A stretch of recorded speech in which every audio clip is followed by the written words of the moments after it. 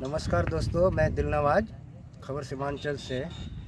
अभी हम मौजूद है पोठिया प्रखंड के आमबाड़ी बुदरा डोक नदी में। यहाँ एक घाट है और इस घाट में हम लोग नाव से इस पार उस पार आना जाना करते थे। अभी आप देख रहे हैं, यहाँ एक ब्रिज बन रहा है और ब्रिज पिछला दो तीन साल पहले उद्घाटन हो चुका था।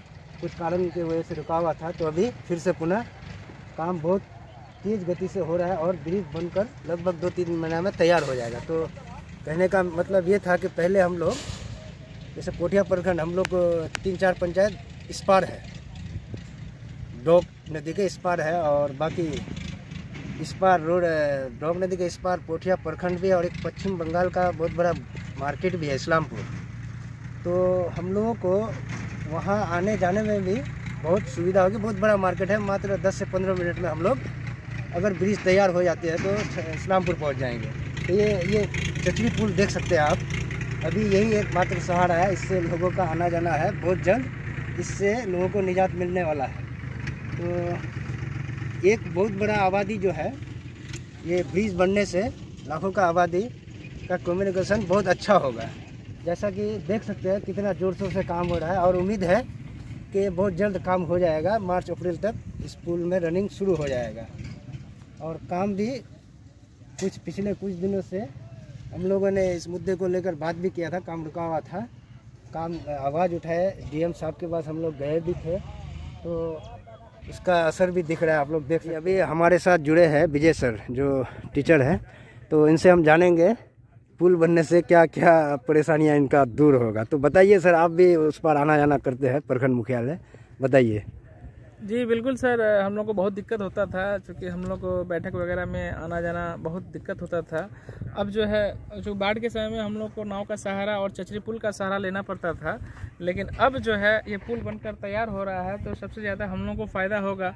क्योंकि हम लोग हर महीने लगभग दो तीन बार प्रखंड कार्यालय से संपर्क साधते हैं और आना जाना बैठक वगैरह में आना जाना होता ही रहता है। इससे पहले हम लोग चिचौबारी होता हुआ लगभग पंद्रह से बीस किलोमीटर का फासला हाँ हाँ पंद्रह बीस नहीं लगभग पचास किलोमीटर लगभग इस्लामपुर से यहाँ तक। जी जी लगभग हाँ लगभग पचास किलोमीटर का मतलब दूरी है दूरी है। जो हम लोगों को तय करके आना जाना पड़ता था। लगभग डेली हम लोग बाइक से आना जाना करते थे और अपने जान को खतरे में रखकर आना जाना करते थे। हाँ ये ये ये गोल्डन ब्रिज से। इसी ब्रिज से हम लोग सर आना जाना करते हैं अभी। जब पानी भर जाता था तो?